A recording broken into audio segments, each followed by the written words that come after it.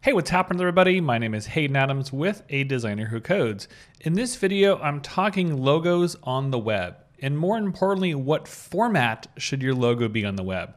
Now I have two different formats, even though I have three pictures. I've got a PNG file at logo.png, and I have a logo. Ooh, stop moving that thing.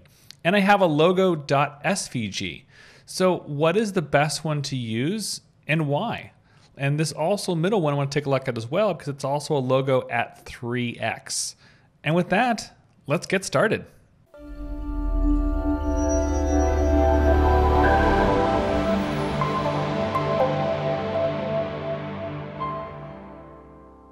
All right, welcome back. Once again, my name is Haydn Adams with A Designer Who Codes.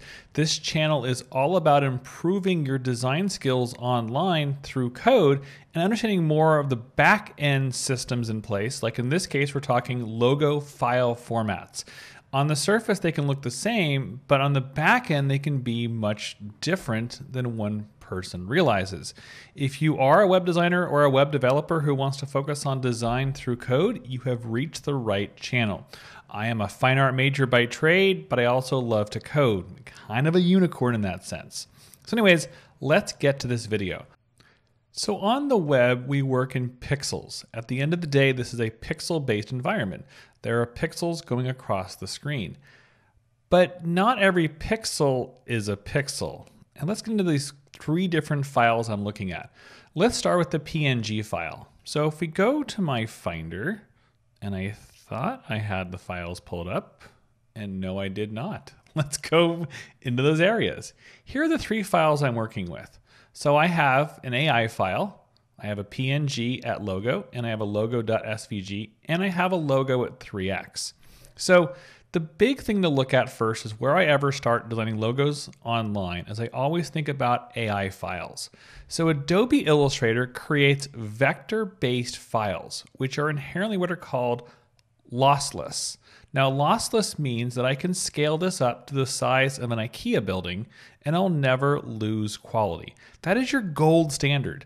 And AI for the longest time has really been focused on printing. When you print something, you're going to have it on paper, which means it should be about 300 DPI PPI or dots per inch or pixels per inch. So in Illustrator, I have this file, logo.ai. And if we zoom in, it is pixelless. It is clean, it is crisp, it is beautiful, it is gorgeous. By having essentially no pixels in an AI file, it's just math at the end of the day. Again, I can scale this file up to the size of an IKEA building or put this on a space shuttle if we had them these days. Uh, yeah, we'd had the Falcon X rocket, but that being said, I can make this as big as I wanted to make this and I'll never lose quality. Now the SVG file is a very unique file format. If I go over to File and do a Save As within Adobe Illustrator, there are essentially five formats we focus on. There's Adobe Illustrator, there's the EPS file, which is a gold standard again when it comes to printing. I've never really used the Illustrator template. PDFs are inherently vector-based or lossless by default as they work with Adobe Illustrator. And then there's these last two files. There's the SVG and the S, or sorry, the SVG compressed and the SVG. Now, SVG stands for Scalable Vector Graphics. And it's only really viable if you start inside of Illustrator, which I have done. So what I did was I saved an SVG file, and then the trick also in Illustrator is to take out all of this artboard. So what I did was crop it in Illustrator which again, you think cropping in Photoshop is the right way, but cropping in Illustrator is the first step in the process. And if you want to skip over this part, go for it. But how to adjust your artboard is Shift O, and we bring our crop marks of our artboard down into this picture. So I have essentially an Illustrator SVG file that has not touched Photoshop because Photoshop is a bitmap based world and Illustrator is a vector and or lossless tool, which means this logo will always be scalable, as in scalable vector graphic, to the size of an IKEA building. And what I get a result is I get a very, very small file. Now, this logo.svg is approximately 8 kilobytes. Cool, looking pretty good. Now, if I want to make this into a PNG file, I'd have to head over to Photoshop because Photoshop works in pixels. And what happens is this SVG file goes from a vector based image into a bitmap or a pixel based image. So, what I have here is a 1200 pixel image. And I think the size, I'm not quite sure of the height, I measured the width, was 453. If I divide that by 3, it's 400 pixels. And that's also why I used, essentially I brought it down to 300 for a little extra oomph on the screen for the most part. So I made a PNG file in Photoshop. I also have transparency inside the picture. And you'll notice that it's 7 kilobytes. That's pretty even on the logo.png versus the logo SVG. So for most projects, it's almost the same. And if we look back at our project right here, this top image and this bottom image are essentially the same size. But here's where it gets tricky. Apple decides to throw some monkey wrenches at us. Way back in the day, I don't have the exact number of years, the MacBook Pro and the iPhone turned into retina screens. So, what does a retina screen mean? It means that they pack more pixels in per inch. So by default, screens are 72 DPI PPI. I guess it's PPI, there's no dots. But then it became 144 PPI. So what does that look like? If we pull up Apple's human interface guidelines, they actually, I made this page way too big, but on their human interface guidelines, they talk about image size and resolution. So what happens is, is a one pixel at 10 pixels, 20 at 2x, and 3x. The 3x became the big guy all of a sudden. And if we look at it, the scale factor, now the iPhone XS Max equals 3x. And if we scroll down, the iPhone X is now 3x, and the iPhone 8 Plus is 3x, and the iPhone 7 is 3x, and 3x and away we go. What does that mean?